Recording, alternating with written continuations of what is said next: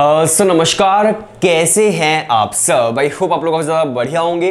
तो आज की जो वीडियो है, वो एक छोटी सी गुड न्यूज़ है, लेकिन सभी सीयूटी के स्टूडेंट्स के लिए नहीं, लेकिन सिर्फ़ कुछ सीयूटी के स्टूडेंट्स के लिए है। अब वो क्या बात है, क्या नहीं है, वो मैं थोड़ी सी देर बाद आपको बताऊँगा। सबसे पहले देखिए, अगर आपकी कोई भी क्वेरी है, अगर आप मुझसे कॉन्टैक्ट करना चाहते तो मुझे इंस्टाग्राम पर टेक्स्ट कर सकते हैं। इंस्टाग्राम का लिंक मैंने डिस्क्रिप्शन के अंदर डाल दिया है। तो काफ़ी सारे स्टूडेंट्स थे जिन्होंने टेक्स्ट किया था, और आई होप आप में से सभी लोगों की जो क्वेरीज है, वो सॉर्ट आउट मैंने कर दी होगी। काफ़ी देर लगी मुझे कल। तो आप भी कर सकते हैं, आपकी भी क्वेरी जो सॉर्ट आउट हो जाएगी। इंस्टाग्राम का लिंक डिस्क्रिप्शन के अंदर डाल दिया है।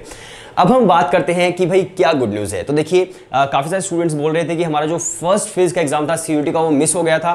तो दो रीज़न हो सकते हैं मिस होने के। सबसे पहला रीज़न ये हो सकता है कि उसके अंदर आपकी खुद की गलती है कि भाई आप टाइम पर नहीं पहुँच पाए, या फिर आपसे कुछ गलती हो गई। तो वो अगर आपकी गलती है तो भाई आपको बिल्कुल भी चांस नहीं मिलने वाला है रिटेस्ट के लिए। लेकिन अगर कोई कलेक्टिव मिस्टेक हुई है, मान लीजिए आपका एग्ज़ाम सेंटर जो है उसी के ऊपर मतलब पूरा का पूरा एग्ज़ाम नहीं हो पाया टेक्निकल इशू आ गया पूरे एग्ज़ाम सेंटर के लिए, या फिर ऐसा हो गया, मान लीजिए कि जो आपका एग्ज़ाम सेंटर है वो चेंज हो गया लास्ट मोमेंट पर, कोई दूसरा स्कूल कर दिया गया, कोई दूसरा कॉलेज कर दिया गया, कोई दूसरी मतलब कोई भी दूसरा सेंटर अचानक से कर दिया गया तो उस सिचुएशन के अंदर अगर आपका एग्ज़ाम रह गया है तो वहाँ पर कहा जा रहा है कि आपको दूसरा चांस मिलने के काफ़ी ज़्यादा चांसेस हैं। आप बस एक काम कीजिएगा, अपने मेल्स जो है, उसको आप अच्छे से देखते रहिएगा, आपको मेल आ सकता है एनटी की तरफ़ से। अगर आपका सीयूटी का एग्ज़ाम मिस हो गया था, आपकी वजह से नहीं किसी दूसरे रीजन की वजह से राइट तो आपके जो चांसेस है वो काफ़ी ज़्यादा हो जाते हैं दोबारा से रिटेस्ट होने के, अपनी मेल आईडी चेक करते रहेगा।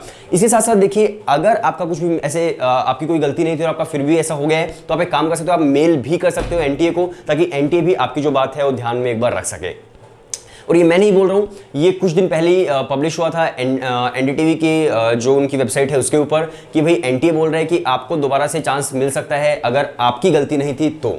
तो जो आपको पेपर दिख रहा है अभी उसी का है तो आपको बिल्कुल भी टेंशन नहीं लेनी है। अगर आपकी मिस्टेक नहीं है तो भाई आपको चांस मिलेगा। आप बस आ, अपनी जो मेल आईडी है उसको आप बार बार देखते रहिएगा कि कुछ भी मेल आ सकते हैं। अचानक से कभी आपको एग्ज़ाम सेंटर दे दिया जा सकता है तो आप चेक करते रहेगा इसी साथ साथ देखिए बहुत सारे स्टूडेंट ऐसे हैं जो बोल रहे हैं कि सेकंड फ़ेज़ के हमारे एग्ज़ाम्स अभी शुरू होने वाले हैं। किसी का भी शायद फिफ्थ ऑफ़ अगस्त को भी एग्ज़ाम है। और बोल रहे हैं कि अभी अभी तक हमारे जो हम बोल सकते हैं एग्ज़ाम सेंटर जो है वो अलॉट नहीं किए गए हैं। तो बहुत जल्द चांसेस है कि भाई आपको एग्ज़ाम सेंटर अलॉट कर दिए जाएँगे और मतलब मुझे लग रहा है शायद आज या कल में ही हो जाने चाहिए। और अगर फिर भी नहीं होते तो आप भी मेल कर दीजिएगा आपकी भी सॉर्ट आउट हो जाएगी प्रॉब्लम राइट सो बिल्कुल भी टेंशन नहीं लेनी आप लोगों को जिनके एग्ज़ाम्स मिस हो गए थे या फिर जिनके भी uh, नहीं आए हैं एग्ज़ाम uh, सेंटर्स तो आप बस मेल कर दीजिए और या फिर मेल का वेट कीजिए आप एन की तरफ़ से। तो सारी चीज़ें सॉर्ट आउट हो जाएँगी। किसी भी स्टूडेंट के साथ कोई इनजस्टिस गवर्नमेंट नहीं करने वाली है इसकी टेंशन आप बिल्कुल भी मत लो। छोटी सी वीडियो थी बट आई होप आपको काफ़ी ज़्यादा ठीक ठाक लगी होगी, जिन स्टूडेंट्स के साथ टेंशन हो रही होगी और जिनके एग्ज़ाम्स हो चुके होंगे, उनको लगा होगा कि यार ये क्या वीडियो थी। लेकिन जिन स्टूडेंट्स के एग्ज़ाम्स नहीं हो पाए, उनके लिए काफ़ी ज़्यादा मतलब टेंशन वाली ये चीज़ सिचुएशन हो गई आई होप सो वीडियो देखने के लिए शुक्रिया, मिलते हैं नेक्स्ट वीडियो के अंदर और मिलते हैं।